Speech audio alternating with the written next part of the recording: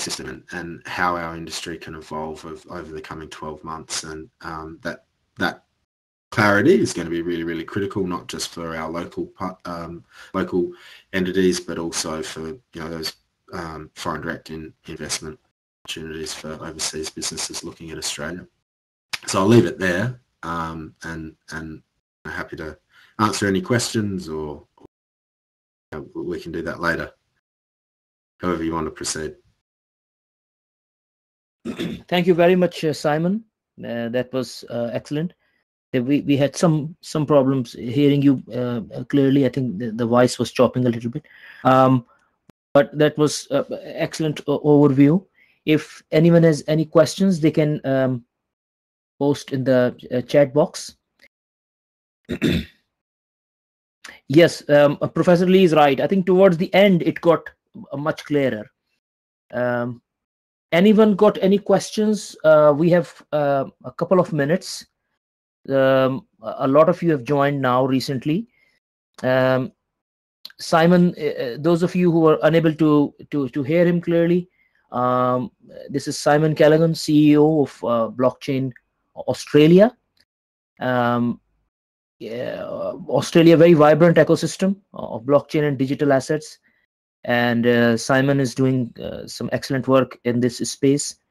Um, if you have any questions uh, about, I have, I have a question for Simon. Yeah, go ahead. Yeah, hi, uh, Simon. You mentioned uh, uh, sort of halfway through that you the importance of infrastructure. Um, could you could you sort of expand a little bit on how on how policy is affecting the, the, the development of infrastructure in Australia? Yeah. Um, so there's, I, I, mean, I don't want to be too rude about it, but I, I think there's a uh, a, I guess a lack. There's not a there's not the same amount of clarity, say, that exists in Hong Kong or Singapore or UK or um, Europe, for that matter. Um, so we've taken, I think, a little bit more of a um, let's sit back and see approach, which um, is beneficial in some aspects, but uh, has potential risks in others.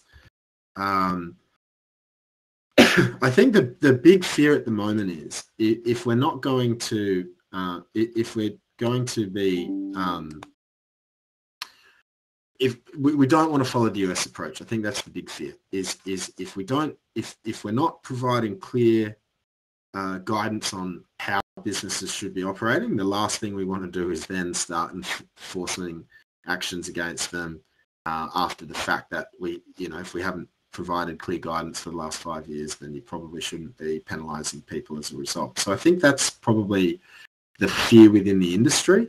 Um, I don't think that, I don't suspect that the government, uh, the current government or the former government have the intention of doing so. It's, it's just, I, I don't think that's uh, how any of them are going to operate.